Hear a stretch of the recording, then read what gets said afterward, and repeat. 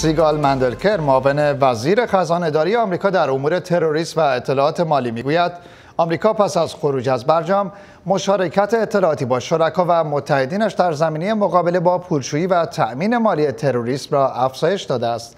او گفت معاونتش حمایت مالی جمهوری اسلامی از گروه های تروریستی را رصد کرده و تلاش دارد که جلوی آن را بگیرد. The Iranian regime, of course, has spent hundreds and hundreds of millions of dollars. رژیم ایران تا کنون صدها و صدها میلیون دلار پول برای تامین مالی اقدامات تروریستی هزینه کرده است. تامین مالی گروه های تروریستی مانند حزب الله، حماس و دیگران. بله، برخی از اقدامات تروریستی از طریق دولت ها تامین مالی می شود که عمل بسیار شنی است.